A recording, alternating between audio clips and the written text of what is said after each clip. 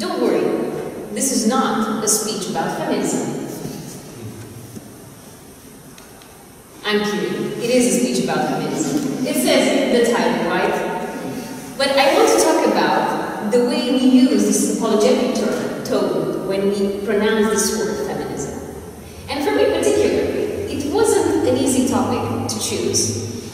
I had the free will to do so, knowing that it really annoys the hell out of people. Because feminism sometimes is annoying, right? So this is another speech about feminism.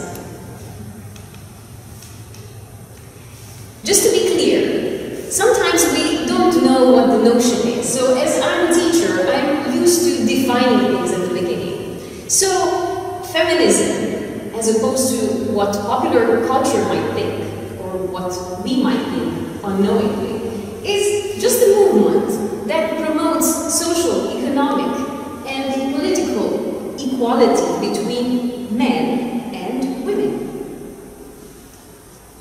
Right? So why is it so annoying? Because it does annoy us. Let me tell you a little story about this, because this is how they say it. You always have to start with a little story.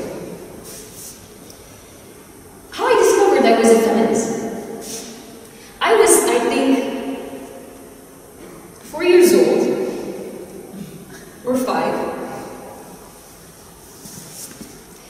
when my grandmother said to me, well, my dear, you have to go to school just like your mother and you have to get good grades and hopefully you will have a good and prosperous life. A few years later, when I was seven years old, she asked me, so how's school going? And I told her, well, there are a couple of good kids in the class, some of them, a couple of boys and myself. I was a little bit modest, let's say. And she said, don't worry, my dear, if they outpass you, you know, boys are smarter.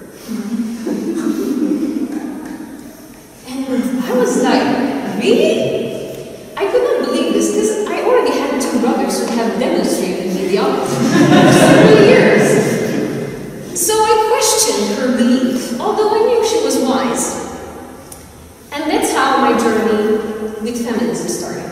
It is a love story, as you will see.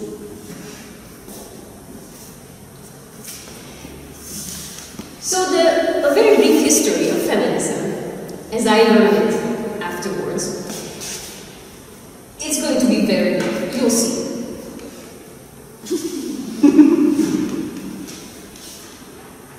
Let's do this again. You may have not understood the concept.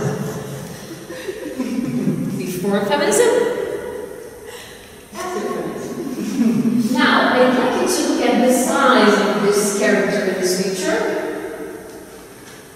as opposed to its character before. So basically, the great merit of feminism was to take women from an inferior position and make them equal to men in front of the law, in front of society, in front of other all the aspects. And this is why we love feminism. And we thank it. Because we have, today we have the right to vote, to study, to work, we have equal pay, we have financial independence, and we have property. And we like that, don't we? So all this thanks to feminism up to the 20th century.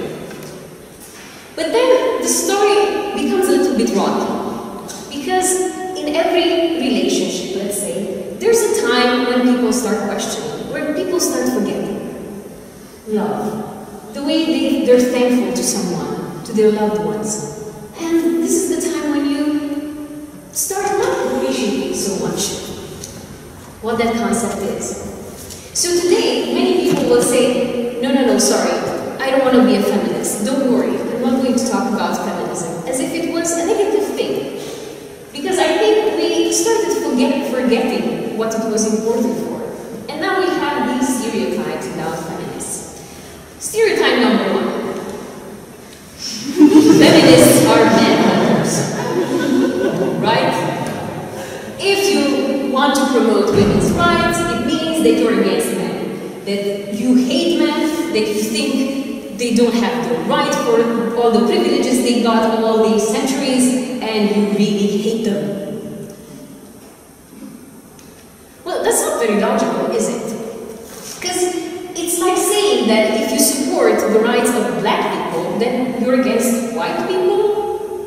Supporting one group does not mean that you're against everyone else. So it is not logical to say that if you're a feminist, you hate men. There might be people who hate men, but that doesn't necessarily mean they're all feminists. Stereotype number two. If you're a feminist, then you're a man hater, obviously. You also hate the traditional role of the women, and all the women who embrace this. And who promote masculinity. Because, right, being feminine means being confined to the house and being confined to a traditional role that limits you.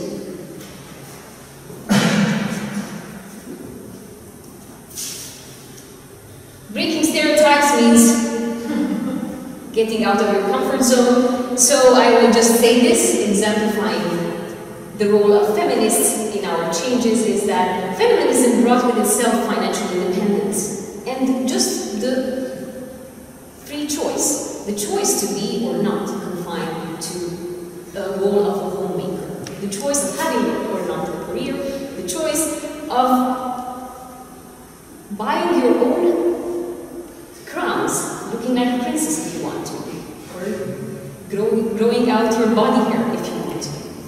But that does not mean that these are things that characterize all feminists.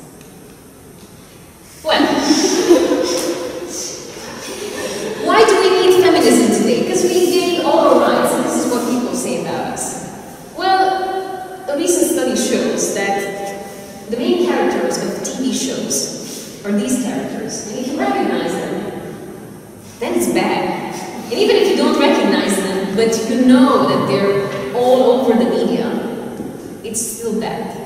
So our role today, maybe it's not fighting for new rights in civilized countries, but maintaining a safe and healthy environment where young girls are not poisoned by these images.